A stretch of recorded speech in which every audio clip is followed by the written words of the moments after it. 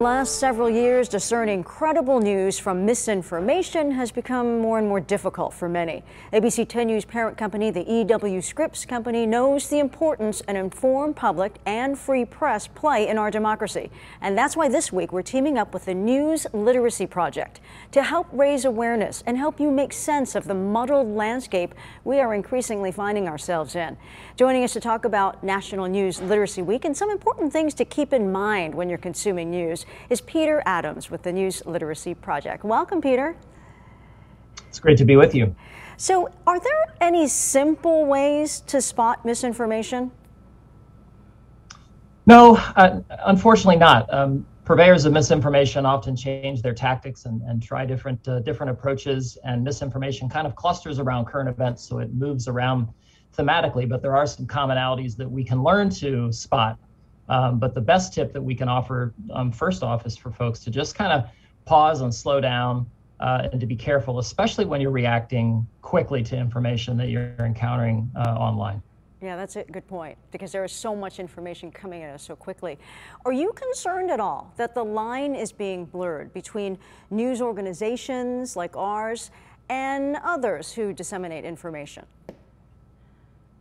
There is a blurring of the lines, and a lot of that is is intentional. Um, a lot of what we've seen over the last five and ten years are, are more bad actors online, kind of trying to pass their work off or their uh, their information off as standards-based news when in fact it's not. So even seeming like a news organization. So again, uh, uh, pausing over something that you're not sure about asking yourself if you're sure about the source of information and even taking you know an extra 20 seconds to to search that source and make sure it's a standards based legit news source is a great first step and can go a long way to weeding out a lot of nonsense that comes across your feed. And what have you found in terms of the confusion out there? Is it even in terms of the demographics and the generations? It depends. I think you know i think um, younger folks who've grown up with online technologies and have grown up on social media are a little savvier at spotting some of the hoaxes and scams, financial scams and things like that that uh, uh, that are out there. Um, but they can fall very quickly for health misinformation, um, and you know are, are vulnerable in the same ways that that um, grown folks are uh, in terms of their cognitive uh, biases right? So we all have a, a, sort of bias toward our own experiences. We have a strong bias toward things we already believe, um, including our our values and and um, you know ethical beliefs, right? And so when bad actors try to capitalize on that, it's an attempt to get us to react quickly and accept misinformation more readily because it agrees with us. So there's an exploitative factor that we're all vulnerable to, and I would say that's that's uh, across generations. Hmm. I know that the News Literacy Project has some tools online that people can use to help kind of beef up their skills. Can you explain those really quickly? Of course. We have uh, something called the Checkology Virtual Classroom, which is free for educators to use with their students, and they can create student accounts um, with a robust collection of lessons and challenges.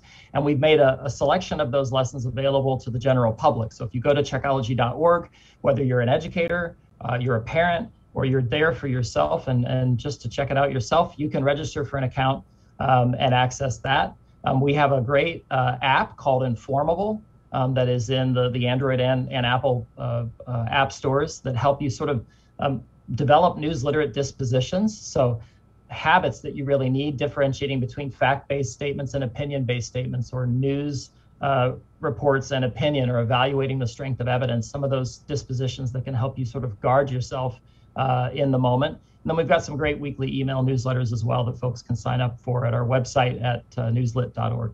A lot of great tools. Peter Adams, Senior Vice President of Education with the News Literacy Project. Thank you so much for sharing your knowledge and insights. Oh, thank you. It was great being with you.